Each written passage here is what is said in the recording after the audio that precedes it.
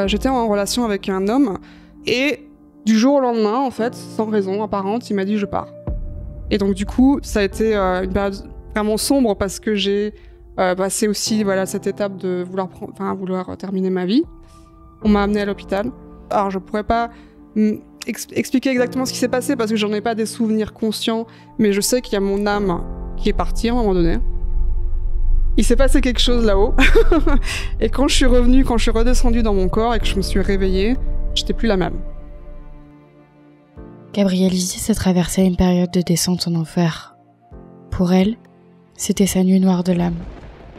Après avoir atteint un tel désespoir au point de vouloir mettre fin à ses jours, Gabrielle a vécu une expérience mystique et mystérieuse d'ouverture de conscience et de métamorphose.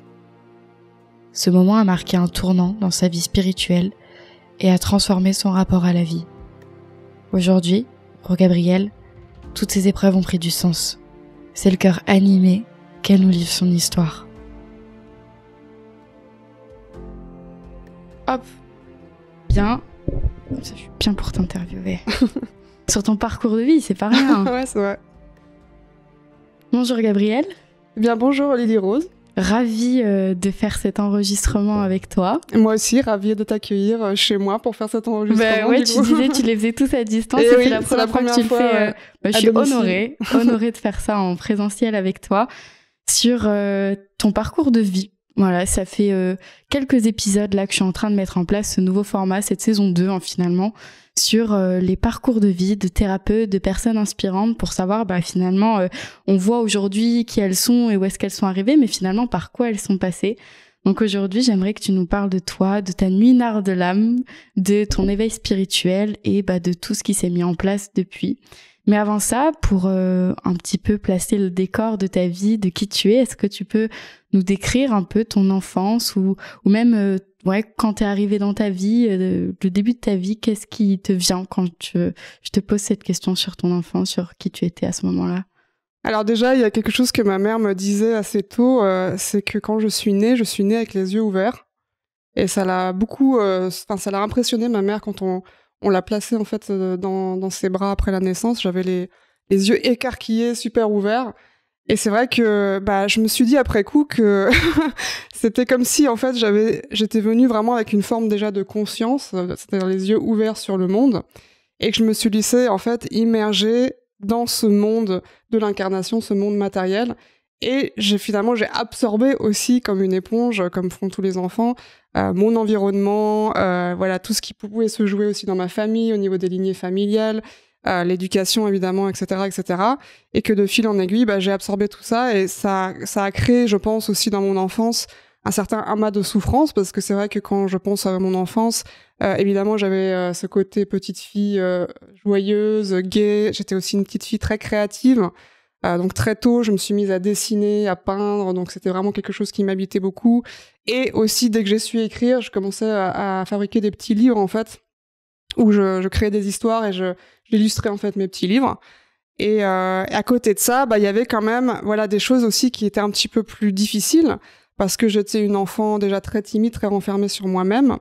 Euh, j'avais euh, j'avais un côté un petit peu sauvage aussi, il faut le Ok. dire. C'est-à-dire que tu voulais pas dire bonjour. euh, alors, je sais pas si c'est ça, parce que je pense que j'étais quand même polie, mais quand, par exemple, quand ma mère m'a mise à la maternelle, donc je pense que j'avais 3 ans, 3-4 ans à peu près par là, eh bien, euh, j'ai pas voulu rentrer dans la classe, en fait.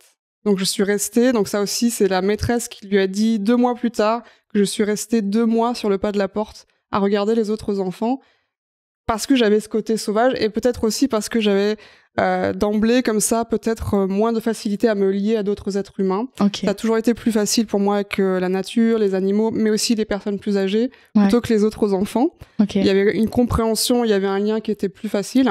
Tu comprenais pas les enfants de ton âge quand t'étais plus petite? Ou en tout cas, j'ai- j'ai- c'était, je les observais qu'un peu comme des bêtes curieuses, je dois dire. Ok. Ça, c'est l'impression que j'ai. Et donc, euh, et donc même, euh, il y a une photo de moi à la maternelle où c'est marrant parce que euh, on voit tout le groupe euh, du coup de la photo de classe et moi je suis un peu je regarde ailleurs, je suis ailleurs. Et donc ouais, cette sensation un peu d'être de venir d'ailleurs et d'être un petit peu différente des autres aussi, euh, qui m'a ouais qui était présente dès le début. Et donc du coup, bah, euh, une enfance aussi euh, qui était un peu spéciale parce que on bougeait beaucoup. Donc mon père avait un travail, on était obligé de déménager tous les trois ans à peu près. Ok. Donc euh, à chaque fois, donc voilà, parce que j'étais une enfant timide, bah je quittais une école où je m'étais fait des amis, je devais refaire des amis à chaque fois tous les trois ans. Donc ça, ça a été difficile aussi pour bah, tout simplement m'enraciner quelque part. Donc il y avait toujours un peu cette sensation, je suis déracinée, je ne sais pas où est ma maison en fait, parce que mmh. euh, on changeait de pays, on changeait de ville, on changeait vraiment d'environnement à chaque fois. Et à côté de ça, bon évidemment, il y avait toutes les histoires euh, familiales, l'histoire familiale, est-ce que mes parents portaient euh, de leur propre histoire qui pesait aussi sur mes épaules. Donc ça aussi très tôt, parce que j'ai absorbé petite fille en fait les souffrances de mes parents, notamment celle de mon père qui était assez poussée puisqu'il avait des problèmes, voilà, il était maniaco-dépressif assez poussé, assez sévère. Donc j'ai aussi vu voilà des choses un petit peu plus sombres du style euh, mon père qui reste enfermé pendant des semaines dans sa chambre dans le noir, euh, qui a une profonde tristesse qui est là, qui, qui, vraiment qui plane euh, dans la maison, etc. Et, et quand on est enfant, ben on comprend pas trop tout ça. Et souvent les enfants ils culpabilisent aussi parce qu'ils se disent peut-être c'est ma présence, peut-être c'est à cause de moi. J'avais un père du coup qui était quand même assez distant aussi avec ses enfants. Il n'avait pas réussi à vraiment se se lier avec ce, ce, lien affectif, même si je sais qu'au fond il nous aimait, mais il y avait vraiment des difficultés à ce niveau-là. Donc du coup, bah ça posait beaucoup de questions euh, très très jeune. Toi, tu te demandais euh, si c'était ta faute. Euh, voilà, je me demandais si c'était à cause de parce que je me sentais pas la bienvenue en fait. J'avoue que je me sentais pas accueillie par mes parents. Mes parents avaient une relation d'amour très forte entre eux. Et c'est vrai que mon père avait déjà du coup deux enfants d'un premier mariage et ma mère voulait absolument des enfants et donc comme si mon père avait un petit peu accepté de faire des enfants par amour pour elle, mais il n'y avait pas vraiment cette envie en fait de refaire des mmh. enfants. Et donc du coup, bah, je suis venue un petit peu comme un cheveu sur la soupe dans leur couple euh, entre guillemets gâcher un petit peu la fête. Et donc du coup bah souvent ils partaient en vacances sans moi ils me laissaient chez ma grand-mère. Donc ça a créé aussi des ça a ancré pas mal de, de sentiments d'abandon etc qui se sont développés euh, aussi très tôt euh, si je rentre un petit peu dans les dans les détails. Donc c'est des choses que je raconte aussi dans mon livre vous êtes la lumière du monde. Mais à l'âge de six mois. Donc là, c'était pas de leur faute malheureusement, mais ma mère est tombée malade, elle a dû être hospitalisée. Mon père était parti à l'étranger pour son travail, et donc je me suis retrouvée confié chez ma tante et mon oncle qui avaient aussi un bébé. Et en fait, il y a vraiment quelque chose de très profond, un traumatisme très profond qui s'est cristallisé à ce moment-là, de, de blessures d'abandon, où j'ai pleuré en fait non-stop pendant tout le séjour, donc c'était presque un mois, je pense, wow. euh, chez eux. Et voilà, de fil en aiguille, euh, plus tard, évidemment, j'ai pu re trouver aussi des souvenirs de ce qui s'est exactement passé à ce moment-là, mais il y a vraiment des choses très profondes qui sont cristallisées à ce moment-là. Ouais, ça c'est plus tard quand après tu as commencé à faire de l'hypnose régressive et des choses comme ça. Voilà, exactement. On y reviendra plus tard. Mais euh, donc pour planter le décor, le décor de ton enfance, c'est que donc tu te sentais pas forcément accueilli. Oui. Euh, tu te sentais un peu sauvage, un peu sauvage, un peu dire, euh, en décalage. Qu'est-ce que je fais là, quoi ouais. C'est c'est quoi tous ces trucs à te sentir mieux dans la nature, avec avec les animaux, les personnes âgées. Donc ma grand-mère, j'avais un, un, lien très fort aussi avec ma grand-mère et l'aspect créatif qui a toujours été là, vraiment comme comme un peu une un soutien, un soutien, ouais, vraiment quelque chose qui me qui me passionnait, enfin que mmh. j'aimais faire. Et donc du coup, euh, ouais, ça, ça, ça, c'était vraiment les aspects, euh, on va dire plus plus lumineux euh, de l'enfance. Et puis c'est vrai que j'étais une petite fille très sensible, ouais. très très très sensible. Je, je, suis encore une personne sensible aujourd'hui, mais je peux imaginer que voilà, avec la sensibilité que j'ai aujourd'hui, quand j'étais petite, c'était peut-être encore plus exacerbé. Mmh. Donc forcément, je ressentais tout, tout, ce qui se passait dans mon environnement et dans le monde, je le ressentais fortement. J'ai encore des souvenirs de moi vraiment petite fille qui regarde par la, la fenêtre dans la voiture et qui voit euh, bah, les ordures que les gens euh, jettent en fait par la fenêtre et ça me ça me ça me touchait profondément j'avais mal pour la terre j'avais mal euh, aussi pour les animaux quand je voyais qu'on leur faisait du mal etc donc ça c'est quelque chose qui était très présent très tôt chez moi ouais. ouais. ça te faisait vraiment mal de voir toute cette bah, qu'on faisait du mal à la ce terre manque de respect ouais, ce manque de respect et donc du coup bah c'est ça aussi, je pense, qui, qui faisait que j'avais du mal à me sentir en lien avec l'humain, parce que je voyais aussi toutes ces choses un peu tous négatives, ces travers, tous ces travers, ouais. Mm. Et je comprenais pas pourquoi, sauf surtout. Et t'étais déjà ouvert au monde subtil à cet âge-là? Alors, j'ai été ouvert au monde subtil. C'est vrai que j'ai des souvenirs, euh, comme ça, des, bribes de souvenirs, de sentir des présences autour de moi, qui n'étaient pas forcément toujours des présences, malheureusement, euh, en, tout cas, que je ressentais comme bienfaitrices. Euh, on, peut, parler plutôt de voilà d'entité ou d'amérante ou de choses comme ça.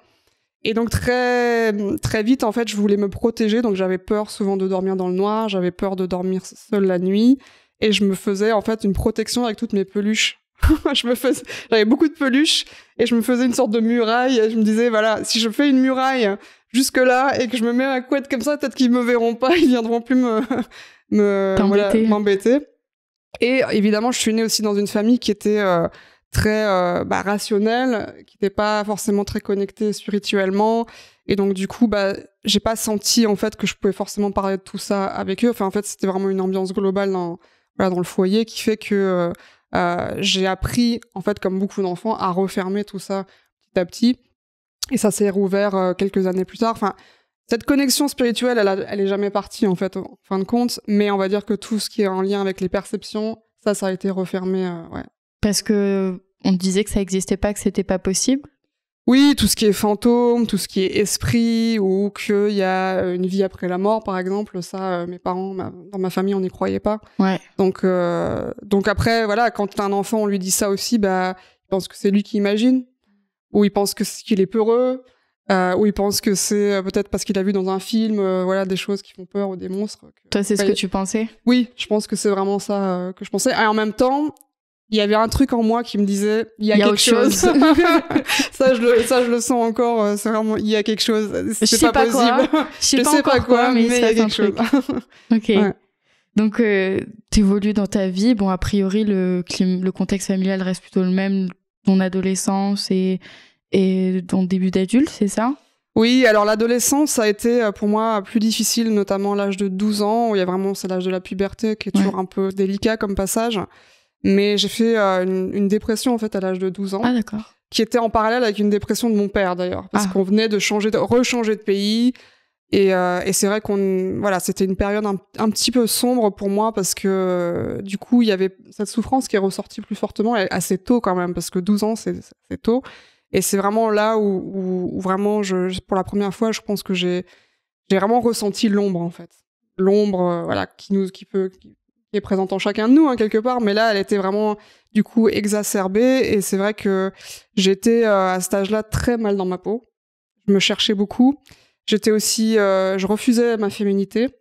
Donc ce qu'il faut savoir, peut-être ça se voit pas trop aujourd'hui, mais que j'étais un peu garçon manqué euh, quand j'étais petite parce que mes parents voulaient un garçon et donc j'étais une fille et c'est vrai que euh, du coup, j'étais, euh, je voulais pas trop me porter de robe ou de jupe ou de choses comme ça, et je refusais vraiment ma féminité, et notamment l'âge de la puberté à ce niveau-là, bah, quand on commence à se développer en tant que femme.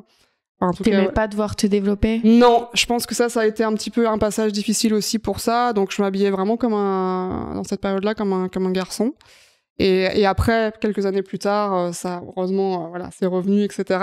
Mais ouais, c'était une période un peu, un peu bizarre, qui était pas forcément, qui est pas forcément agréable. À... tu te sentais très mal dans ta peau, tu te cherchais, et... à la fois, tu te sentais pas soutenu par tes parents. Voilà, enfin, en tout cas, ils avaient pas, ils avaient une sorte d'incompréhension. Mon, père, bon, il était dans ses, sa souffrance à lui, mais par rapport à ma, mère, qui, euh, du coup, bah, elle était confrontée aussi aux, dépressions de mon père. Euh, je comprenais pas pourquoi elle n'avait pas un regard plus de compréhension vis-à-vis de moi, alors qu'elle pouvait peut-être l'avoir un peu plus vis-à-vis de mon père. Donc j'avais doublement l'impression de porter en fait un peu un fardeau à ce niveau-là. Et évidemment, quand je dis souffrance, c'était pas ma souffrance hein, que je ressentais, c'était de nouveau celle que bah, de par ta sensibilité, celle de que par ma sensibilité que j'ai absorbée de voilà de, mon père, de, ma mère et de la lignée familiale, évidemment, puisque tout ça c'est ancestral, hein, c'est transmis de génération en génération, et c'est pour ça aussi que on est là avec une nouvelle conscience pour pouvoir libérer justement, se libérer de tout ça euh, et libérer du coup la, lignée familiale pour pas qu'on le transmette à nos descendants, à nos enfants. Hmm. donc tu trouvais ça injuste en fait aussi à ce moment-là peut-être, non? Ouais, injuste. Et puis c'est vrai que bah je me je me sentais pas euh, acceptée, accueillie de nouveau telle que j'étais et j'avais assez tôt envie en fait de, de partir quoi, enfin d'être un peu éloignée de la famille, euh, d'être dans un environnement différent. Et, euh, et de nouveau, bah, là, ce qui m'a vraiment aidé dans cette période, c'était euh, plus la musique. Donc, je me suis beaucoup intéressée à la musique à ce moment-là. Euh, il y avait des groupes que j'aimais bien, etc. Donc, j'étais un peu dans ce truc de l'adolescente qui se met dans la musique pour justement avoir un petit peu un échappatoire aussi de tout ça et, euh, et de pouvoir euh, bah, découvrir la vie aussi d'une autre manière, quoi. Donc, euh, Donc ouais, c'était euh, et d'ailleurs cette période-là, c'est marrant parce que il y a pas si longtemps que ça, j'ai reconnecté aussi avec des, des, des sortes de couches que je devais aller voir aussi par rapport à cette période où je sentais vraiment qu'il y avait une part de moi qui avait été rejetée vraiment par moi du coup et que j'avais j'avais besoin d'accueillir et d'aimer pleinement vraiment aussi cette euh, cette part de moi qui était entre guillemets mal aimée quoi. Donc même euh, voilà des années plus tard, on, on se retrouve euh, dans des périodes un peu cruciales de sa vie à, à réintégrer aussi par l'amour voilà des parts de soi qui ont besoin justement de cette lumière. Ouais, ouais, t'es venu faire un, un, travail. J'ai hâte de, de, de, parler de cette partie qui est un peu finalement la, la deuxième partie de ta vie, en fait. La première où euh, bah, tu, tu te cherches, t'évolues et tu, tu vis tes blessures, en fait, euh, mm. d'enfance. Et, euh, et du coup, tu chemines à ce moment-là. Donc, tu, tu vis cette, cette dépression, en fait, assez tôt. Ouais. Et euh, ce qui est intéressant dans ce que tu dis, c'est que l'aspect créatif, donc tout ce qui est musique, tout ce qui est art, etc., c'est quelque chose qui t'a quand même beaucoup soutenu. Et je trouve que c'est chouette de, parler de ça parce que souvent quand on se sent pas bien, on sait pas trop vers quoi se diriger. Et j'ai vraiment l'impression que les choses créatives, en tout cas, c'est un espace où on, peut être pleinement soi, où on peut venir s'explorer. Ça, c'est ce qui. Ouais, complètement. Et c'est vrai que bah, très tôt, bah, même pendant l'adolescence, j'ai continué à beaucoup dessiner, à écrire aussi. Et donc euh, tout naturellement, bah en tant que voilà, euh, après avoir fini l'école, je, je, me suis dirigée aussi vers des études artistiques. Donc j'ai fait les beaux arts parce que bah, j'avais cette fibre là et parce que euh, aussi en fait très tôt, je savais que je n'aurais pas un chemin classique. Ouais. je n'aurais pas un chemin voilà tout, tout, tracé en fait universitaire etc etc c'est vrai que en plus je suis née dans, dans une famille plutôt voilà d'intellectuels où il y avait plutôt des gens qui faisaient des études, etc. Et, euh, et j'étais un peu l'artiste de la famille. Et, euh, et, je savais très tôt du coup que je ne travaillerais pas dans un bureau, euh, voilà, de 48 les 40 heures par semaine, machin. Je savais que c'était pas moi, quoi. Et donc forcément, la, la, la, la fibre artistique qui était présente m'a permis aussi de développer l'expression de soi. Mm. Donc c'est vrai que souvent les artistes euh, ils utilisent leur art aussi comme moyen de guérison. Hein. C'est mm. comme une, une, autothérapie en fait aussi là, par l'art, parce que ça nous permet aussi bah, de voilà d'explorer euh, plusieurs aspects qui sont à l'intérieur de nous et, du coup de sortir certains aspects aussi qui sont à l'intérieur de nous et de voilà de, de, les exprimer artistiquement. Et, euh, et, donc je pense que même si on le vit inconsciemment, c'était pas forcément conscientisé à l'époque du tout euh, par moi, mais clairement voilà ça a eu ça a eu aussi un impact euh, très très bénéfique. Et, euh, et d'ailleurs voilà dans mon cursus aux Beaux-Arts, bah, même si j'étais pas encore, entre guillemets, officiellement euh, ouverte et éveillée au spirituel, eh bien, j'avais déjà, en fait, mon âme qui me transmettait certaines choses en lien avec le spirituel, donc notamment des figures comme euh, la Vierge Marie, que d'ailleurs, voilà, depuis que je suis petite, je la sens présente, en fait, avec moi. J'ai toujours eu cette, vraiment cette profonde euh, attirance et lien avec, euh, avec cette figure-là, qui est la mère divine, hein, donc euh, on va pas parler de religion, hein, parce que moi je suis pas du tout, euh, euh, du tout, de toute façon été euh, éduquée dans la religion. En plus ma famille elle était plus à trois quarts juive, donc pas du tout catholique. Mais la Vierge Marie ça a toujours été une figure qui m'a vraiment qui beaucoup parlé. parlé. ouais. Donc voilà, donc voilà, je me mettais à, à peindre la Vierge Marie, je m'aime Jésus, je me peignais aussi dans la forêt, un peu un truc un peu féerique. Et en fait, c'est que des années plus tard que je me suis rendu compte que c'était aussi présent en moi et c'est vraiment j'ai pu réexplorer toute cette part de moi. Donc c'est comme si ma, mon âme m'avait donné des petits des petites bribes euh, avant. À travers à travers l'art hein, ouais. Donc ouais. c'était euh, c'était assez beau à voir. Et euh, et ensuite c'est vrai que le monde artistique bon euh, c'est ce il est ce qu'il est aussi. Donc euh, très vite en fait je me suis un peu lassée de tout ce côté monde artistique contemporain notamment et aussi, euh, j'avais en vrai, en vraiment envie de d'écrire. Du coup, euh, je me suis plus orientée. Euh, mon, mon, père était journaliste en plus. Je me suis orientée vers le journalisme parce que j'avais envie de faire du journalisme d'investigation. C'était une époque où je commençais justement à m'éveiller un petit peu à tout ce qui se passe dans le monde, des choses qui nous ont été un petit peu cachées aussi. -hmm. Donc il y avait cette envie vraiment de voilà d'aller trouver la vérité. D'aller trouver la vérité, ouais. Sauf que voilà, je me suis ben je me suis inscrite à l'université en journalisme et et l'université en journalisme, c'est très... Ça t'a pas plu C'est très, comment dire, cadré d'une certaine manière, où il n'y a pas beaucoup de place justement à la créativité, à l'expression de mmh. soi. Au contraire, c'est très, euh, voilà, on nous dit cadré. ce qu'il faut écrire, ce qu'il faut dire, etc., etc. Et donc du coup, ça me convenait pas du tout. Mais ça m'a, ça m'a quand même permis, ça m'a pas servi à rien parce que ça m'a permis de découvrir aussi l'aspect audiovisuel. Mmh. Qui du coup euh, bah, m'a servi, des, servi des années après. Donc il y a toujours tout qui est juste en fait. C'est marrant de voir que la vie, elle nous mène toujours vers euh, voilà des, des, des choses euh, qu'on a besoin en fait d'intégrer à un moment donné et que ça va nous servir plus tard. Quoi. Ouais, ouais c'est intéressant, c'est intéressant comme point. Et donc tu m'as partagé donc à un moment de ta vie, tu es arrivé, tu as, as, passé ce qu'on appelle la nuit noire de l'âme. Donc à quel moment ça arrive? Pourquoi? Par quoi c'est provoqué? Dans quel contexte? Dans quelle situation? Est-ce que tu peux nous parler de cette étape cruciale hein, de ta vie? Oui, alors c'est vrai que ça a été une étape cruciale parce que ça a été pour moi bah, une forme de basculement en fait dans autre chose complètement. Euh, donc en fait ça s'est passé plus ou moins dans la période où je terminais justement les, les beaux-arts. Ok. J'allais être diplômée et par la suite du coup j'avais enchaîné avec le journalisme. Mais avant d'enchaîner avec le journalisme, J'étais, euh, bah, donc je parlais tout à l'heure de cette profonde blessure d'abandon que, que j'avais. Euh, j'étais en relation avec un homme euh, avec qui, voilà, on avait une relation très fluide. Jamais d'accro, jamais de dispute. Et on commençait à faire des plans un peu plus, euh, voilà, on va dire plus sérieux. Projeté. Hein. Projeté. il parlait presque de mariage, pas, pas presque, il parlait de mariage, etc. Et du jour au lendemain, en fait, sans raison apparente, il m'a dit je pars. Et il est parti, il a, donc il a déménagé, il a changé de pays. Et moi, je me suis retrouvée, euh, en fait, avec un. J'ai même pas compris ce qui se passait tellement c'était. Euh, on appelle ça euh, en thérapie les, des, parfois des trans traumatiques.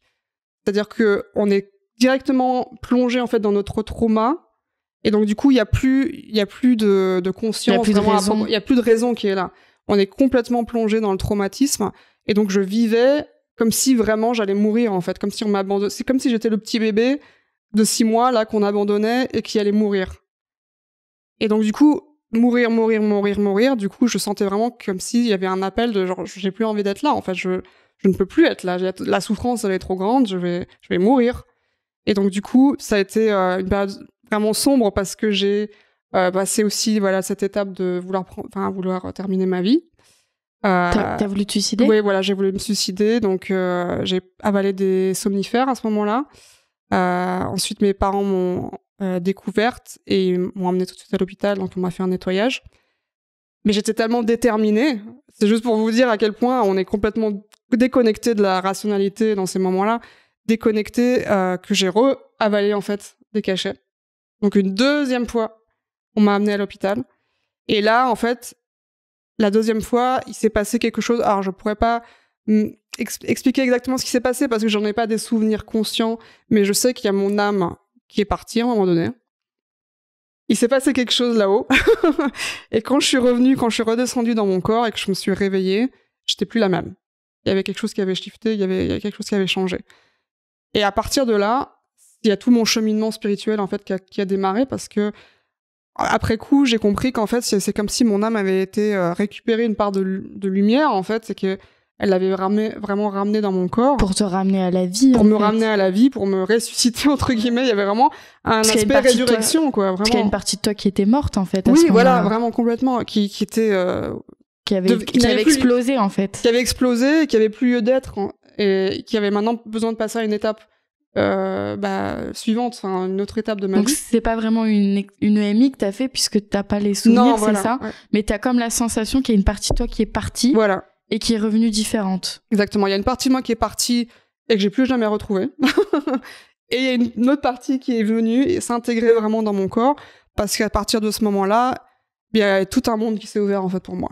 Donc tout d'un coup, j'ai pris conscience qu'on était au-delà de ce corps, on était des êtres spirituels, que en fait euh, euh, des choses en fait que, j'avais ressenties au fond de moi pendant tout ce temps depuis que j'étais petite, mais que j'arrivais pas à mettre des doigts dessus. Et même j'ai envie de dire, pour parler euh, vraiment aussi de la connexion divine, c'est la présence de Dieu en fait. Et c'est vrai que ou la source ou l'univers ou peu importe comment on veut l'appeler, hein, c'est pas une question de mots tellement, c'est vraiment une question de, de sensation. Et c'est quelque chose que je ressentais en fait quand j'étais petite, cette présence de Dieu en moi en fait. Euh, cette présence aimante et bienfaitrice. Et c'est tout d'un coup, je me reconnecte avec cette lumière. Donc ça a été très très fort pour moi. Mais ça a engendré du coup derrière aussi beaucoup de remises en question euh, de ma vie, euh, enfin de, l'époque. Donc c'est là où j'ai vraiment commencé à entamer un chemin de ouais, de, travail sur moi, de, thérapie, etc. Et puis aussi le donc tout de suite après il y avait l'envie de faire du journalisme parce que ça a enchaîné sur cette ouverture de ah le monde il est présenté d'une certaine manière, mais en fait c'est pas exactement ce qu'on nous dit. euh, L'histoire telle qu'on nous raconte, ce n'est pas exactement la vérité, etc., etc. Donc voilà, j'ai pris, j'ai j'ai découvert commencé à enquêter en J'ai enquêté. En plus, c'était une période où euh, euh, j'ai eu une observation d'ovni. Donc il y a eu aussi cette reconnexion. Où ça? Donc c'était à Bruxelles, de ma fenêtre. Donc j'ai vu deux sphères lumineuses dans le ciel euh, immobiles, donc orangées. Et à un moment donné, il y en a une qui a commencé à émettre des sortes d'électricité tout autour de la sphère en fait pendant quelques secondes. Puis bam, après elles se sont toutes les deux comme si c'était éteint dans le ciel, elles, se sont, elles ont disparu. Donc là aussi, euh, bah, ça a été une forme de, de reconnexion avec euh, le, un autre monde, une autre dimension euh, nous, dont on ne parle pas euh, vraiment sur Terre, ou en tout cas on nous dit que ça n'existe pas. Ouais. Et oui, donc après j'ai fait euh, pas mal de recherches, que ce soit là-dessus, mais aussi au niveau géopolitique, au niveau politique dans le monde. Enfin, il y a tout qui est tout qui est sorti à ce moment-là. Ça a été vraiment un gros un gros shift quoi dans ma vie. Et à ce moment-là, donc quand parce que c'était 2007, que... hein, juste pour, pour situer okay. un peu, ouais, 2007. ok, parce que je trouve 2007-2008. Je trouve vraiment vraiment crucial ce truc de vraiment t'es es arrivé au point de vouloir mourir en fait, de, de mettre fin à tes jours, et c'est ton âme qui est vraiment est allée chercher donc c'est cette lumière comme tu dis et quand elle est revenue et toi tu t'as perçu que c'était vraiment différent quoi. Ouais. Et, j'ai de ce que j'ai l'impression de ce que tu dis c'est que après ça a été d'un coup d'un coup, t'as été une personne différente. Ça t'a pas fait peur ce changement de, de se dire euh, là la veille je suis quelqu'un j'ai envie de mourir et le lendemain presque c'est ça ou même l'heure l'heure d'après avoir vécu cette expérience. Alors ça s'est pas passé exactement comme ça. Je pense qu'il y avait un sas. Mmh. C'était avant tout intérieur. Donc moi je pense que j'étais dans un espèce de entre guillemets des, un peu les limbes en fait entre deux quoi pendant un certain temps. Mmh. Euh, ensuite ce qu'il y a aussi c'est que juste avant cette euh, profonde reconnexion, euh, enfin, je sais plus exactement si c'était avant ou après, mais c'était genre quelques jours après, euh, voilà, ces états vraiment euh, suicidaires que j'ai vécu. J'ai vécu une agression en fait euh, physique dans la rue. Donc c'était c'était un peu bizarre parce que genre ouverture, waouh, lumière, machin, et bam, de nouveau quelque chose de très sombre. Donc de se faire agresser physiquement dans la rue. et donc de nouveau, ça m'a un petit peu replongé dans mais je pense que c'était c'était en lien aussi avec la vibration qui, qui voilà qui émanait de moi à ce moment-là. C'était c'était des choses qui avaient besoin d'être mises en lumière tout simplement. Et c'est vrai que malgré ça, eh bien j'ai pu me relever assez rapidement. Franchement, quand je regarde rétrospectivement la, la, rapidité avec laquelle je me suis relevée après cet épisode, ça a été assez impressionnant. Oh, t'as l'air étonnée même. Ah oui, ça a pas duré des semaines quoi. Ça a duré. Euh... C'est comme si bah ah ouais en fait. Euh c'est génial quoi. Je vais pouvoir vraiment aller là-dedans et c'est passionnant et je vais pouvoir découvrir plein de choses. Et donc je me suis vraiment plongée là-dedans et, et c'est vrai que ça a été salvateur quoi. En fait c'est que d'un coup tu avais plus peur de ta blessure. Non et j'avais plus peur de la mort non plus. C'est pas comme si j'avais eu peur de la mort avant. C'est vrai que c'est quelque chose euh, qui a toujours été euh, pour moi euh, même si voilà j'ai vécu dans une famille qui ne croyait pas à la, à la vie après la mort et je, je sentais que voilà la mort c'était ok en fait. Il y avait pas de problème avec la mort mais là, ça m'a renforcé vraiment dans cette idée que, voilà, c'est, on est, on est là, et puis une seconde après, on peut ne pas être là. Et ça, c'est quelque chose aussi qui est intéressant même d'en avoir conscience aujourd'hui, c'est-à-dire que à tout moment, euh, on peut euh, même pas consciemment faire le choix de sortir, mais il y a ce choix qui est là, en fait. L'âme peut choisir de, de, partir à un moment donné, et, c'est précieux les moments qu'on vit, quoi, incarnés sur Terre. Donc, euh, c'est aussi savourer et apprécier tous ces moments précieux qu'on vit sur Terre, parce que ça peut être fini voilà, dans l'heure qui suit ou le lendemain, ou, euh, et, et de voir que finalement, bah, cette transition entre les dimensions, elle est, elle est assez fluide. Enfin, moi, c'est ce que j'ai senti à ce moment-là, c'est que c'est assez fluide, en fait. Il n'y a pas de, de choses, euh, voilà, euh, très compliquées, en fait, là-dedans. Il n'y a pas de barrière. Il n'y a pas de barrière, non, non, non. C'est une continuité, en fait. On vit dans l'incarnation, c'est vraiment une continuité, voilà, de notre conscience, tout simplement, de notre âme. Et, euh, et donc ouais, donc donc après ça, euh, journalisme, puis après, je me suis intéressée vraiment à tout ce qui était thérapie. Donc je voulais être thérapeute parce que je voulais me mettre au service des autres. Ça, ça a été un profond appel, un profond changement pour moi aussi parce que jusqu'à là, jusqu'à là, en fait, bah, j'étais beaucoup centrée sur moi quelque part. Quand on est artiste, on est un peu centré sur son nombril quand même, faut le dire parfois. Euh, et euh, voilà, donc je me suis formée d'abord. Donc je sentais que je devais passer par le corps d'abord. Donc je me suis formée à tout ce qui est massage. Euh, donc Ayurveda, euh, Ayurvédique, euh, Thaï, etc. Donc plus vraiment les massages d'Asie. Et très rapidement, en fait, j'avais vraiment cette envie de d'explorer tout ce qui était inconscient, Hmm. psychologie humaine, etc. Donc l'hypnose, pour moi, ça a été une évidence aussi parce que ça m'a du coup vraiment plongé dans, dans tout ce que j'aimais, quoi. Et en plus, j'ai fait une formation d'hypnose qui avait vraiment cette ouverture spirituelle. Donc avec tout ce qui était karmique, vie passée, euh, j'ai fait aussi un, euh, un protocole qui s'appelle la vie entre les vies. Donc ça a été euh, euh mis en place par un, un médecin américain qui s'appelle le docteur Michael Newton, qui à travers ses patients se rendait compte qu'il faisait des régressions parfois entre deux vies, justement, où vraiment la- l'âme repart dans les mondes spirituels, explore un petit peu euh, tout ce qu'on explore entre deux incarnations. Et ensuite, il, il lui racontait, donc il a, il a vraiment mis au point ce, ce protocole qui nous permet de faire ce, ce très beau voyage. Euh, vraiment, ça, c'est, j'ai appris énormément aussi en le faisant moi, mais aussi en le pratiquant sur autrui. Et puis aussi, ça a été une période où j'ai eu l'appel d'aller euh, au Pérou Ouais. rejoindre mon frère qui était là-bas, qui se, voilà, qui se formait au chamanisme. Ouais.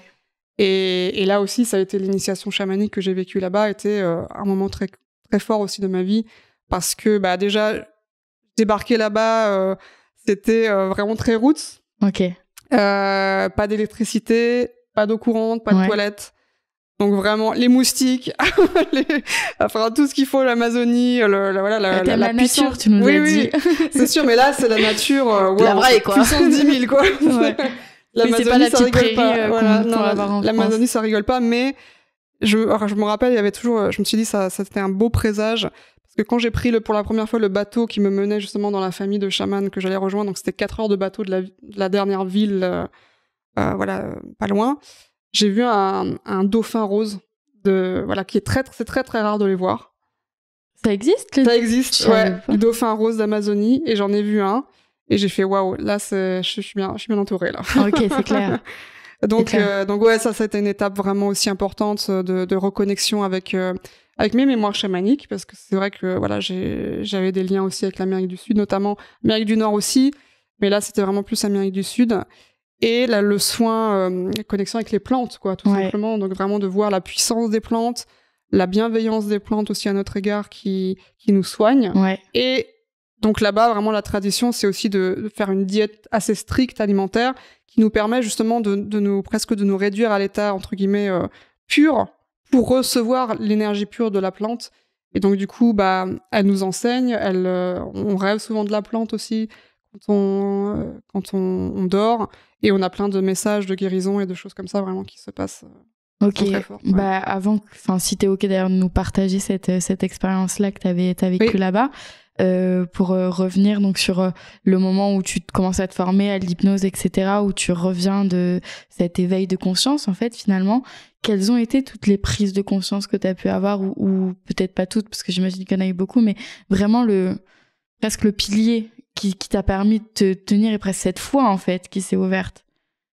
Tu veux dire après l'épisode de, de la nuit noire de l'âme ou- Ouais, ou c'est ça, après? où, Ouais. t'as- où vraiment là tu t'es tu t'es réouverte et quelles ont été euh, les prises de conscience que tu as eues et, au fur et à mesure que tu te formais aussi, qu'est-ce qui est venu renforcer ces, ces croyances-là? Je pense qu'il y avait une, euh, euh, une vraie vocation, en fait, à l'intérieur, que j'avais pas soupçonnée, mais qui était plus forte que tout, tout le reste. Vraiment, c'était quelque chose, c'était comme si c'était une ligne droite pour moi, il y avait même pas d'autre choix possible.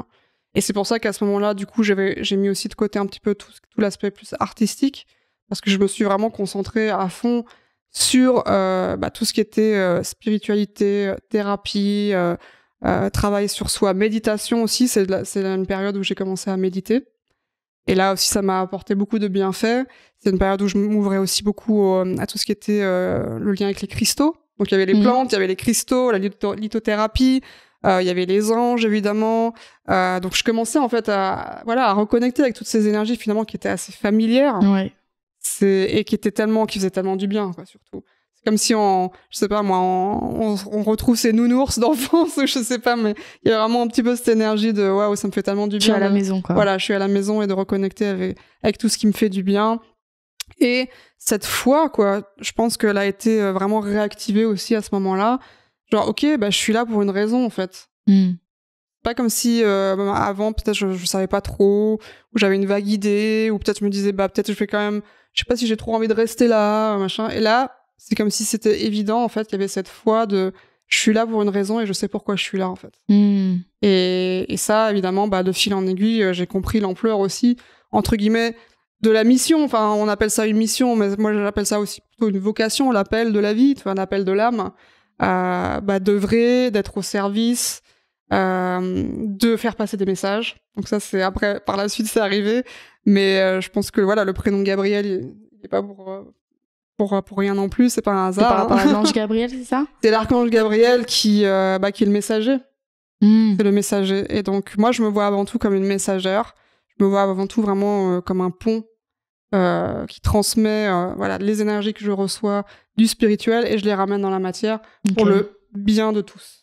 Et donc, ce qui t'a soutenu, c'est vraiment cette conviction que tu étais là pour quelque chose et que la vie est belle, en fait. Exactement. Et qu'elle mérite d'être vécue euh, Ouais. pleinement.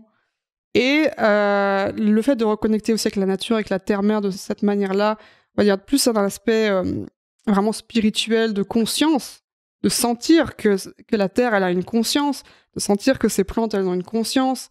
Ensuite, par la suite, ça a été les esprits de la nature, Hmm. vraiment une très forte reconnexion aussi avec eux, presque comme une famille aussi, du coup. Euh, vraiment, euh, ça, ça a été euh, extraordinaire aussi pour moi, quoi. Ça a été vraiment euh, un grand, grand soutien, en tout cas. ouais. Et tes perceptions, du coup, dont tu me parlais enfant, que tu as Oui. refermées, est-ce que c'est à ce moment-là aussi qu'elles se sont Oui. réouvertes Alors ça, ça, ça s'est beaucoup ouvert à ce moment-là. Donc euh, que ce soit des perceptions, voilà, de certains esprits, de certains, certaines âmes aussi. Donc j'ai de souvenirs dans cette période-là, par exemple quand j'ai emménagé dans une maison, je voyais les, les personnes qui avaient habité avant, euh, qui étaient plus là, enfin ce genre de choses. Et euh, je pense que la, la vraiment la, la plus grande partie de, de l'ouverture, c'est vraiment du coup quand je quand j'ai déménagé dans le sud de la France où je suis aujourd'hui. Ouais. Euh, et quand je suis arrivée dans cette, dans, sur cette terre, il y a vraiment eu aussi des reconnexions de plusieurs mémoires différentes et cette reconnexion avec les esprits de la nature. Et là, pour le coup, c'était euh, comme si euh, c'était euh, ça coulait de source en fait. Et ils m'ont accueilli comme si je rentrais à la maison aussi, dans une magnifique forêt magique. Et c'est de reconnecter avec les fées, avec les elfes notamment, enfin vraiment comme une famille, vraiment. Ça m'a ça m'a rempli de beaucoup de bonheur et de beaucoup de lumière. ouais. Waouh. Quand tu dis les, les fées, les elfes, ça se manifeste par quoi? C'est c'est des énergies C'est pour les personnes qui sont pas forcément ouvertes à ça Alors, ça peut être des impressions, ça peut être des ressentis, ça peut être des énergies. Ça dépend comment. Chacun a une sensibilité différente, donc chacun peut les ressentir à un niveau différent. Euh, ou simplement juste savoir qu'ils sont là. C'est déjà aussi quelque part les ressentir. Ouais. Et euh, on n'est pas obligé d'avoir une vision HD euh, 4K, comme on peut, euh, 4K, comme on peut s'imaginer parfois. Euh, parfois, ça va être vraiment juste des choses très subtiles. Ok. Et par exemple, la première fois que j'ai. euh, donc, ça, c'était pas dans la forêt, c'était avant, en fait. C'était même avant, euh, ouais, avant que je déménage. C'était en Turquie, en fait. J'étais dans un lieu qui s'appelle les, Cheminées des Fées. Et je me suis posée dans cet endroit. Donc, c'était que des roches, vraiment avec des formations euh, spéciales. Et comme c'était dans la roche, vraiment comme, comme un espèce de canyon, il n'y avait pas de vent, en fait. Et je me suis posée et j'ai dit voilà, si vous existez, les fées, donnez-moi un signe. Et à ce moment-là, j'ai vu ma mèche, je l'ai vu, hein, j'ai vu ma mèche de cheveux faire ça. Comme si quelqu'un me l'avait, me l'avait soulevé pour me caresser la joue, quoi. C'était hallucinant. Ah, tu l'as eu ton signe. Et J'ai eu mon signe, et encore une fois, il n'y avait pas de vent, et puis s'il y avait eu le vent, bah, mes cheveux auraient bougé tous, quoi. Mais là, c'était juste la, la, la mèche de devant, comme ça. Et donc là, je fais, ok, ouais. Et, et donc après, par la suite, il y a eu vraiment cette plus profonde connexion avec eux et aussi cette collaboration parce qu'ils m'ont très rapidement ils m'ont dit voilà tu vas être amené en fait à ramener des groupes et les inviter vraiment à se reconnecter aussi avec avec nous et avec la terre mère et effectivement plusieurs années plus, tard c'est exactement ce qui s'est passé En fait, c'est comme des, des êtres qui, qui œuvrent au sein de la nature et qui font partie de la Terre, c'est ça? Ce sont des juste qu'on n'y gardiens a de pas la forcément Ouais. accès. en Qu'est-ce qui fait qu'on y a accès ou pas, ou qu'on les voit ou pas? Parce que on peut les voir, carrément. On peut les voir, on peut les sentir, on ils peuvent se manifester du coup même parfois physiquement, hein, c'est pour ça que la mèche. Euh, on peut les voir comme des, des petites lueurs aussi parfois, donc ça, ça peut arriver. On peut euh, les entendre. Euh, on peut bah, interagir avec eux par télépathie. On peut les ressentir aussi dans notre cœur. Donc ce sont des, ce sont des vibrations un peu comme les anges, hein, qui sont quand même très lumineuses, qui sont Mm. très, qui vibrent assez élevées. Et donc du coup, bah ça passe avant tout par le cœur. Et euh, donc quand on est ouvert au niveau du cœur, je pense que c'est le principal. Il faut pas forcément avoir forcément le troisième œil ouvert, c'est d'abord d'avoir son cœur ouvert et son cœur d'enfant, parce que ils sont très reliés aussi à l'énergie de l'enfant. Euh, vraiment ce côté un peu parfois facétieux, Mm. léger, euh, qui aime bien s'amuser, Joueur. qui aime bien rigoler, joueur. Et cette, ouais, cette légèreté, c'est, ils incarnent vraiment ça, quoi. Donc, euh, quand on, si nous, on se permet d'être dans une énergie comme ça, c'est plus facile, je pense, de- aussi de, de ressentir leur présence. Ok.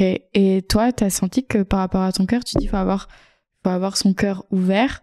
Toi, t'as senti qu'à des moments, t'as réussi à ouvrir ton cœur un petit peu plus? Qu'est-ce qui t'a aidé à faire, à l'ouvrir? Bah, justement, moi, je pense la nature. La nature, ça m'a beaucoup, beaucoup aidé. Je pense que dans la nature, moi, je me sens, je me sens vraiment bien et je me sens en confiance. Hmm, Et donc, du coup, le cœur, il s'ouvre naturellement. Ok. Donc, quand je suis dans la forêt, je suis avec mes arbres, Tu lâches quoi. voilà, je lâche, je m'ouvre. Enfin, mon aura s'ouvre. Donc, c'est vraiment quelque chose aussi de, on peut sentir énergétiquement. Et Par puisque exemple- t'as de l'espace. en Voilà, on a de l'espace. Mais par exemple, dans une ville, c'est différent parce que il y a d'autres énergies. Il y a beaucoup de monde, il y a beaucoup de gens qui portent aussi certaines énergies sur eux. Donc, automatiquement, on va plus avoir tendance à énergétiquement se refermer. Alors que dans la nature, parce qu'on se sent bien, on se sent aligné, on se sent vraiment dans, dans, dans ce flot, en fait, de la nature, c'est plus facile de s'ouvrir, quoi, tout simplement. Hmm, Donc, euh, donc ouais, clairement la nature. Et après, après c'est d'être entouré aussi des personnes qu'on aime, Ouais. tout simplement. Euh, J'ai la chance aujourd'hui vraiment d'avoir un, un mari euh, absolument extraordinaire et on partage vraiment cet amour euh, ensemble. Et donc ça, forcément, bah, ça ouvre le cœur et ça permet aussi de garder le cœur ouvert quotidiennement. Mais ça peut être aussi des amis, ça peut être aussi un certain nombre de la famille, des animaux, bien sûr. Les Mhm. animaux, ça nous aide énormément aussi à être dans cet amour et aussi d'avoir cet exemple d'amour inconditionnel de leur part. C'est, ils sont extraordinaires pour ça, ouais, les animaux. Ouais, c'est clair. Et euh, toi, par rapport à cette première rupture, parce que c'est chouette de pouvoir faire le parallèle entre Ah oui, là, bah tu me parles, voilà, ce, ce, ce conjoint et que c'est ton mari même. Maintenant, c'est mon mari. On ouais, peut le c'est dire, marié, on peut le dire. euh, il n'y a pas si longtemps, donc c'est mon mari. Ouais, ton, ton, ton mari avec qui, bah voilà, t'as cette confiance, t'as ce cœur ouvert. Et par rapport à cette première expérience d'abandon, en fait, oui. toi, qu'est-ce, est-ce que pour toi, tu penses qu'il a d'abord fallu que tu te reconstruises et que tu t'aimes toi-même pour pouvoir ensuite être capable d'ouvrir, euh, ou tu penses que hum, cette personne est arrivée et, a aussi pensé tes blessures, Alors, je pense, en tout cas, je vais parler de mon cas à moi, mais je pense que c'est quelque chose qui est assez général. C'est qu'il y a personne qui peut vraiment penser les blessures, à part soi-même. Et donc, du coup, il y a eu tout un parcours, effectivement. Donc, j'ai vécu après bon, cette relation du Noir de l'âme, euh, beaucoup d'autres relations, euh, notamment une relation longue, qui a été assez, euh, voilà, mouvementée, etc., qui m'a permis quand même aussi de, traverser euh, pas mal de choses, qui sont mises en lumière par rapport à ce que j'avais besoin de guérir en moi. Et puis, il y a eu aussi, après la, donc, la séparation avec cette dernière relation, une période de célibat qui m'a permis vraiment de faire cette exploration intérieure profonde et simplement d'apprendre à complètement m'aimer moi-même toute seule. Et donc, j'ai vraiment eu ce, ce parcours de... J'ai appris à m'aimer, à, à- à aimer tous ces aspects en moi. J'ai appris aussi à être heureuse seule, parce que quand on a une blessure d'abandon, très souvent, on a aussi une dépendance affective derrière. Mm. Donc je pense que ça peut parler à pas mal de gens, ça, parce que Mm. c'est un peu très répandu, hein, ce, ce problème de, de dépendance affective. Et quand on est dépendant affectif, eh ben, c'est pas de l'amour, c'est de l'attachement. Et le véritable amour, il peut que être, euh, mettre en, euh, il peut être que être présent entre deux personnes qui savent s'aimer d'abord individuellement seules. Et ça a été aussi le cas du coup de mon mari, que lui, il a vraiment aussi eu un parcours un peu similaire finalement Mm. où il a été euh, aussi amené à vraiment à, à vraiment à remplir sa coupe d'abord lui comme moi je l'ai fait de mon côté et c'est ce qui a ensuite généré en fait la possibilité de se rencontrer de se retrouver dans cet amour qui est en fait c'est comme si c'était la cerise sur le gâteau en fait Ouais. ça vient pas combler quelque chose ça vient pas combler un manque ou un besoin ou penser une blessure ça vient simplement Embellir la vie, embellir la, embellir la vie j'ai envie de dire euh, euh, c'est une Des forme de paillettes, quoi. Ouais, c'est ça. Et puis c'est une forme de, euh, c'est une consécration en fait de l'amour pour moi. Et là, en plus, le mariage, ben, enfin, symboliquement, spirituellement, c'est aussi euh, encore un autre niveau, mais il y a cette forme de consécration euh, d'un amour qui était déjà là en fait, tout Mm. simplement. Et après, on peut le, on peut le, on peut le partager ensemble et et, et sans justement qui que les blessures de l'un ou de l'autre interviennent. Donc je dis pas que ça nous arrive jamais, mais quand ça arrive, c'est très très très ça, ça, passe comme le comme je sais pas moi, euh, voilà, un orage quoi. C'est très très rapide et on, on, on, sait tous les deux aussi euh, bah, être à l'écoute de l'autre. On communique beaucoup. Donc ça, je pense que dans un couple, c'est très très important. Et tout simplement, il y a le respect. Mm. Donc le respect de l'autre, le respect de l'espace de l'autre, le respect de ce que l'autre peut vivre aussi, parce que bah, la vie est-ce qu'elle est, est, donc c'est pas parce qu'on est ensemble et qu'on est heureux qu'on n'a pas aussi des challenges euh, l'un et l'autre de notre côté, mais d'avoir vraiment ce soutien inconditionnel, c'est vraiment très important, je pense. Ouais. Et, et, cette période justement où tu essayais de, où tu faisais en sorte de t'apporter cet amour, de remplir ta coupe, c'est justement ce que tu nous partageais au début quand justement tu as revu cette petite fille qui se rejetait finalement, qui rejetait des parts de soins. C'était cette période-là où tu as vraiment réintégré euh, des parts de toi blessées Alors, ça a été... Euh, alors, spécifiquement par, par rapport à l'âge de 12 ans, ça c'était un peu plus tard. Mais sinon, c'était vraiment des choses de l'enfance, clairement. Beaucoup, beaucoup, beaucoup de choses de l'enfance. D'ailleurs, euh, quand je pratiquais en hypnothérapie, je me suis un peu spécialisée dans tout ce qui était traumatisme de l'enfance. Mm.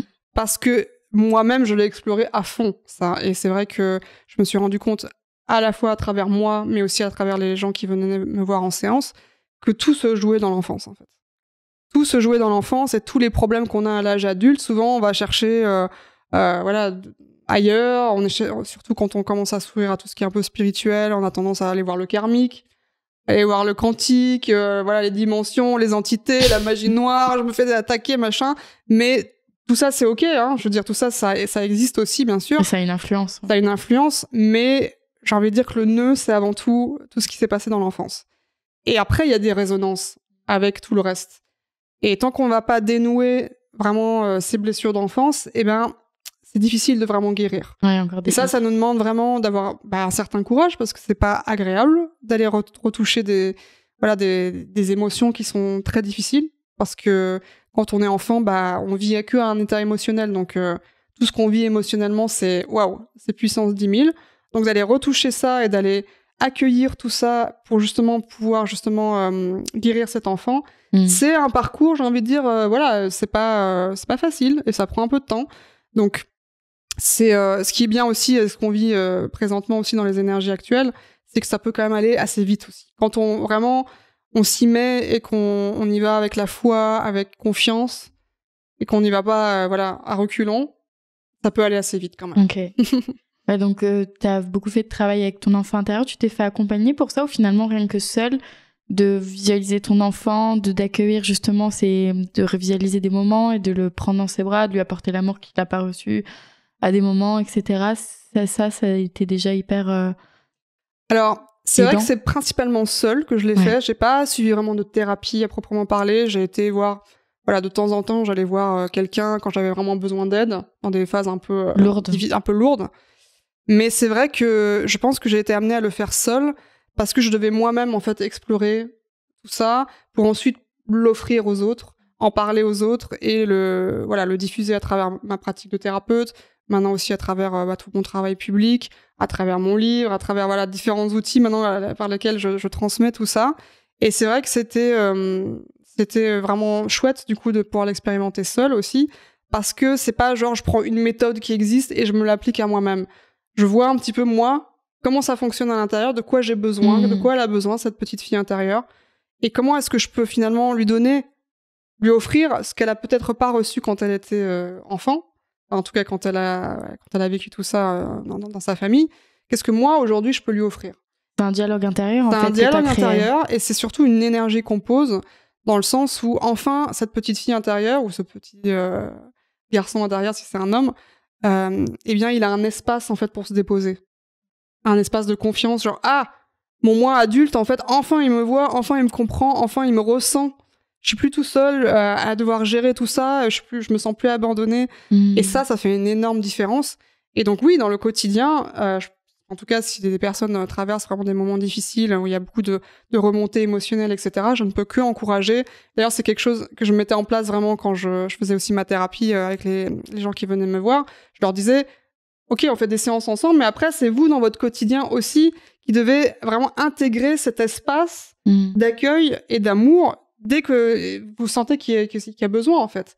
dès que vous sentez l'appel de l'enfant et qu'il a besoin vraiment de, de, se faire cajoler ou de se faire aimer ou de se faire euh, rassurer par rapport à certaines choses. Ouais. ouais. donc ça marche beaucoup finalement à travers la méditation, la visualisation, en forêt même à des moments tu voilà, de se reconnecter à cet enfant. Euh, ça m'est arrivé aussi de, ouais, de, de, de, faire des retraites spécifiquement sur l'enfant intérieur, par exemple. Et, là, et, là, ça va être aussi euh, bah, vraiment reconnecté aussi avec l'aspect jeu de l'enfant. C'est pas que les aspects souffrants, hein, finalement. C'est qu'est-ce qu'il aimait faire, en fait, cet enfant quand il était petit? Est-ce qu'il aimait euh, créer? Est-ce qu'il aimait euh, jouer? Est-ce qu'il aimait les animaux? Est-ce qu'il aimait une peluche en particulier? Donc, c'est aussi bah, ça peut être des, des, des, objets aussi. À travers les objets, ça peut aussi nous reconnecter avec cette, cette, cette part d'enfant. Toi, c'est ce que tu as eu? Oui, moi, je, clairement, je... ça m'a fait vraiment du bien aussi de, de retrouver euh, l'aspect doudou ouais. à un moment donné, parce que j'en avais besoin. Ouais. Ouais, clairement. Donc, euh, t'avais, ouais, avais ça et ça te, ça te faisait du bien, euh, ça te consolait en fait un petit peu. Enfin, en tout cas, ça, te, ça nourrissait ton enfant. Ouais, et puis, et puis ça, par exemple, je me rappelle, c'était juste avant mon, mon premier voyage en Amazonie. Euh, je pense que c'est ma mère qui avait acheté une petite peluche lapin parce qu'il y avait eu un bébé ou je sais pas trop quoi et en fait je l'ai je l'ai volé je l'ai accaparé parce que je sentais que j'avais besoin d'un d'un doudou pour mon voyage mm. parce que j'allais je sentais que j'allais traverser aussi des choses bah, pas forcément faciles. Et il est encore il est encore là hein, ce doudou il est il m'a pas quitté depuis et, et c'est juste euh, voilà c'est ce qui, ce qui me raccroche encore à, cette petite fille intérieure et voilà j'en ai absolument pas c'est ton symbole à toi. Voilà c'est mon symbole c'est ma petite mascotte. Ouais, trop choupi et euh, tout à l'heure tu commençais à nous partager justement euh, donc ton expérience au Pérou euh, bon rapidement parce que sinon je pense que si tu veux vraiment rentrer dans le détail il nous faudra encore une heure de podcast c'est sûr c'est sûr. Mais euh, finalement peut-être euh, qu'est-ce que tu as fait là-bas? Qu'est-ce que ça t'a apporté? Et qu'est-ce que ça a changé chez toi?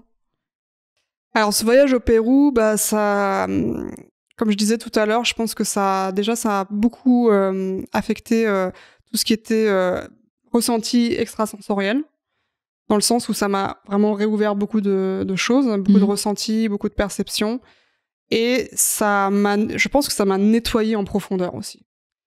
comme je disais, il y a l'aspect diète assez strict, donc déjà au niveau physique, on le sent.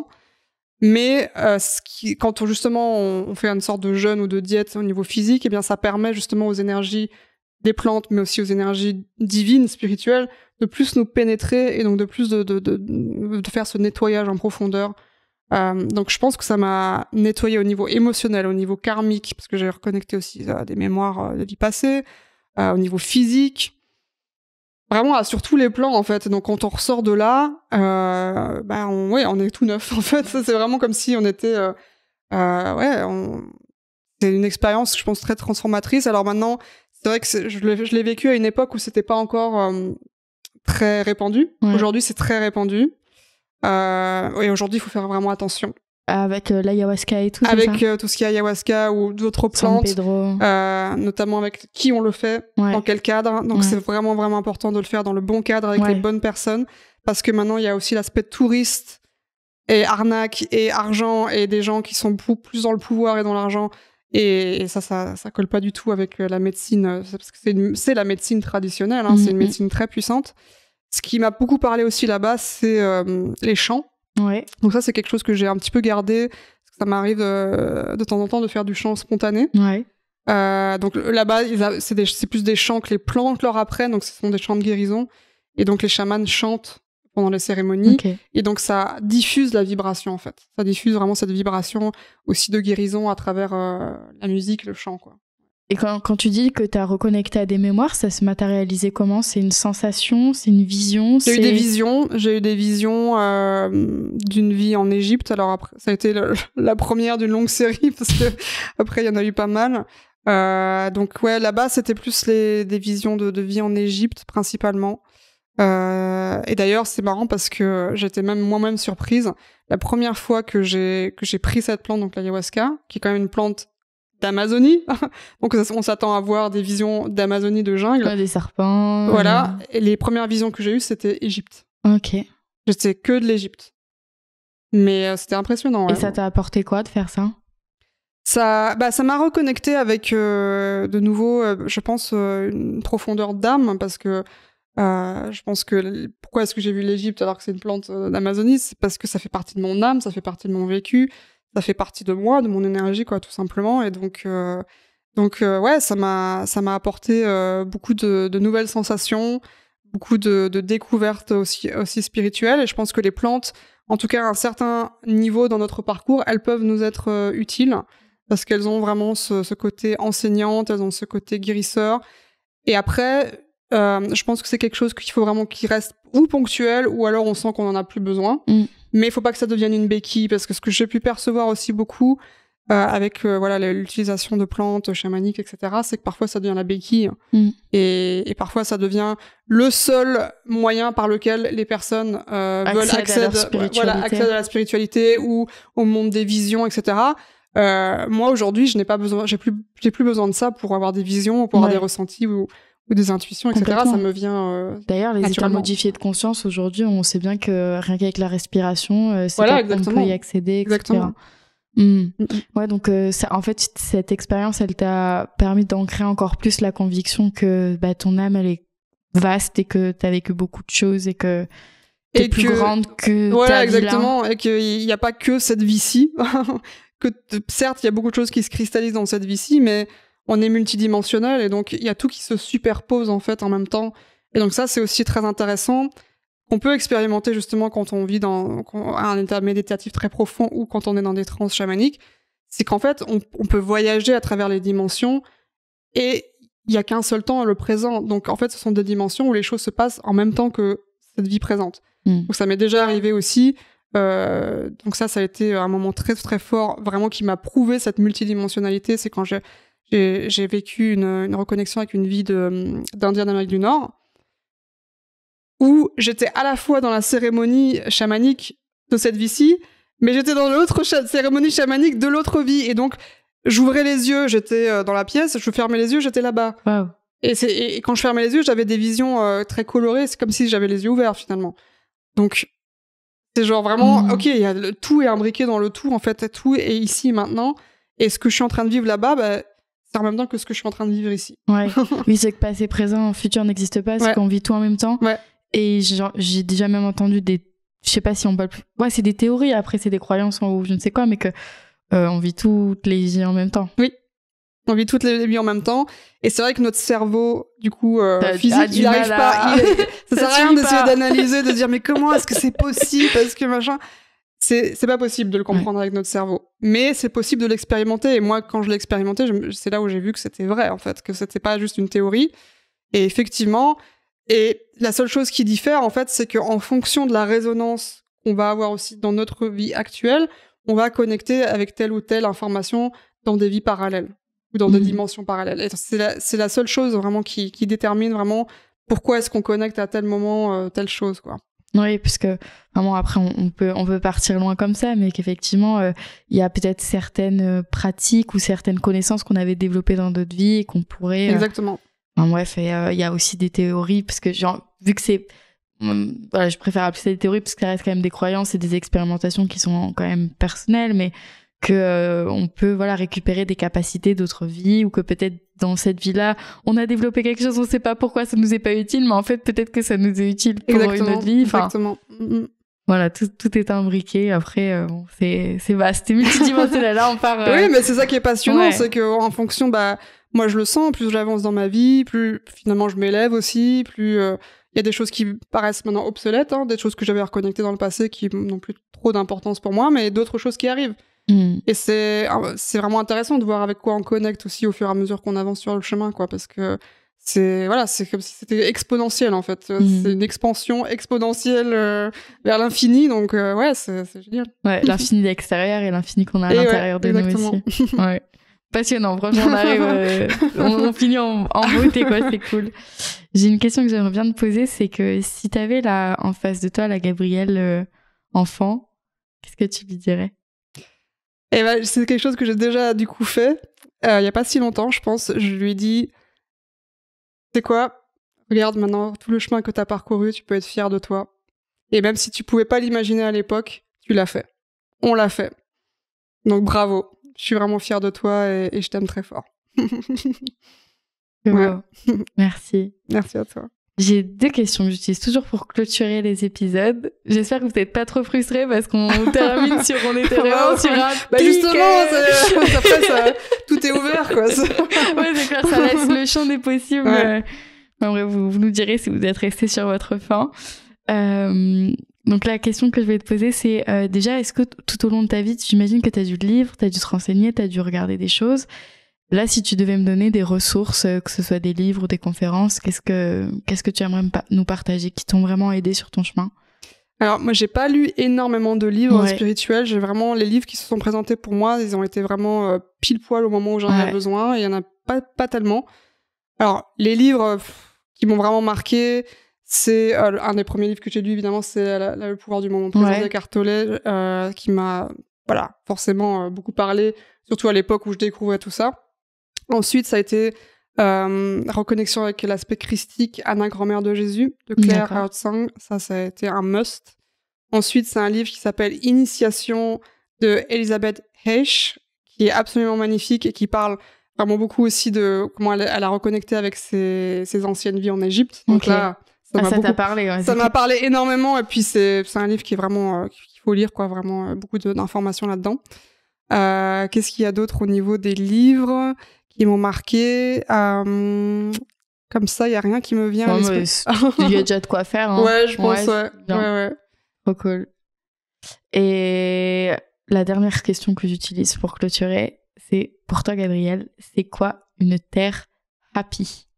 Donc une terre heureuse. Une terre heureuse, c'est une terre vers laquelle déjà on va tous, qui est faite d'harmonie, euh, de respect, où l'amour règne en maître. Je pense que c'est une terre où les gens ont le cœur ouvert et donc du coup il y a vraiment cette confiance et ce partage mutuel et vraiment cette conscience de ne faire qu'un finalement. Donc il y a vraiment cet aspect unité vraiment très important aussi.